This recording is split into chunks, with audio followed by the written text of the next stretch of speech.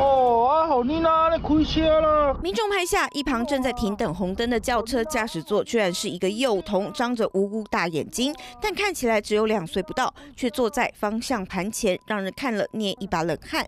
原来是大人一边抱着小孩一边开车，这行为也让拍摄民众生气，拍下车牌跟路口等资讯破网。如果你有车祸的话，直接是小孩子撞击上上去啊，是有点危险，对啊。为什么？为什么？因为没有系安全带，很危险。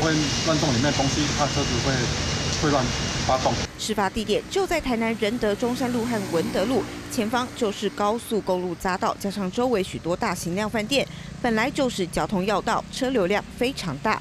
驾驶抱小孩开车，还让幼童摸到方向盘。警方表示，已经通知驾驶到案说明，并且开罚。这个罚则的话，我们会处驾驶人新台币一千五百元以上三千元以下的罚款。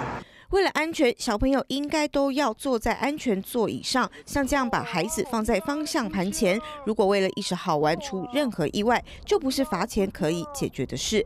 三月王少宇古先台南报道。